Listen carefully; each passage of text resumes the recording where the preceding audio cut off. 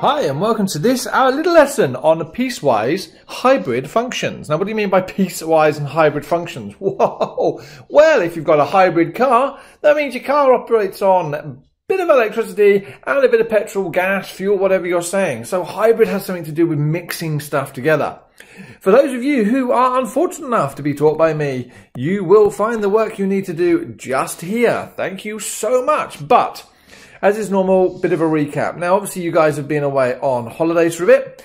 And so we've already talked extensively about functions. We've covered what a function is. Now, remember, there is a difference between a relation and a function. And I think sometimes we as maths teachers make mistakes by using the word function all the time when in fact a function is a specific thing. So to go back, if you remember, a function has to pass the vertical line test. And by that it means if you can draw a vertical line through your graph and it only crosses that graph once, then it is a function. Now, everything I think other than that is a relation. So y equals mx plus c, y equals x squared.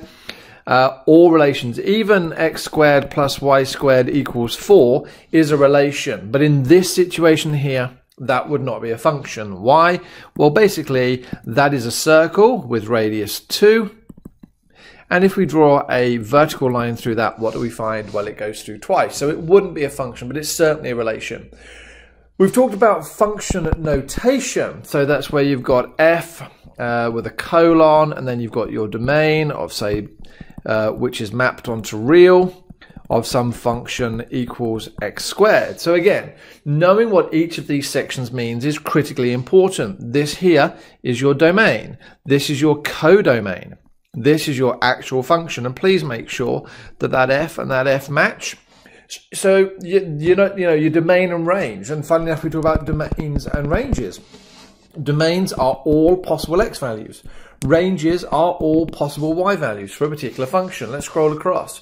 So if we look at y equals x squared, for example, what is our domain? Now, I'm going to draw a quick sketch of y equals x squared. And what I'm saying is, Bearing in mind this axis goes all the way to infinity and negative infinity, I want to ask you the question. Are there any numbers between minus infinity and infinity which we can't square? Right, so think of the number, I know, minus 6 or 7 or 1,346,902 or 920. Are any of those numbers not possible to be squared? Well, actually, there is no number between minus infinity and infinity that can't be squared. No reason in this world why it can't be squared. And so, in this situation, we would be saying our domain is equal to all real numbers. Now, I would prefer you to start using methods notation, and domain is given by x in this situation, is a set of, or is contained within a set of, and this situation we would do real, or we could say x is a set of numbers from, oh no, not square brackets, chillax, minus infinity to infinity. And remember, it has to be curved brackets for infinity because infinity isn't a number. So we've looked at the idea of domain and range. Well, range, whereas uh, domain is the possible x values, range is our possible y values. Now again, if we use the idea of y equals x squared, what are the possible y values? Well, well firstly, there's absolutely no part of my graph currently below the x-axis. So it would suggest that the lowest value of y that is achieved is at the value of zero.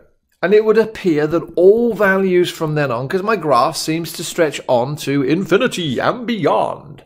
So our range in this situation would be from zero and including zero to infinity. We can write that in a different way. We could write f of x is a sub, or is falls within a subset of 0 to infinity. Or we could use real number notation by saying r plus or 0, right? Because we have to include the value of 0. So this here is all positive real values, but 0 is neither positive or negative, so we have to say or 0. This is all work we've done previously. We've looked at real numbers and integers. We know that. We've looked at the vertical line test to test for one-to-one functions, right? Uh, sorry, to test for a function. And we've looked at why and how we restrict a function. And again, to talk about why we would restrict a function.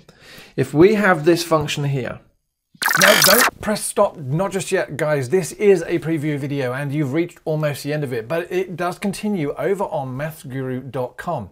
Maffsguru.com, yep, that's my custom website, bits of it you can see around me at the moment. That has been designed to allow the videos to be easier searched than they are on YouTube. So you can search by chapter, by textbook. Each video has downloadable notes for you, so you can put them in your summary book or your exercise book. There are exam questions and there is more and more content and more stuff coming as time allows. So head on over there. It's absolutely free to sign up and I'm doing everything I can to make sure that you guys enjoy maths and actually take out the mystery of maths. It is not as hard as you think. It is all smoke and mirrors. Okay, thanks very much. Take care guys. I look forward to seeing you in another video. Stay safe.